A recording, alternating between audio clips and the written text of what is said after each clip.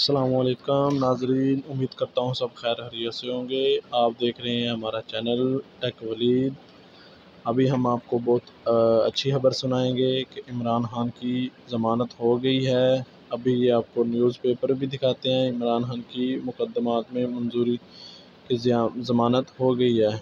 ये सबसे बड़े बड़े चैनल ने भी न्यूज़ दे दी है और चंद ही घंटों में इमरान खान की ज़मानत हो जाएगी।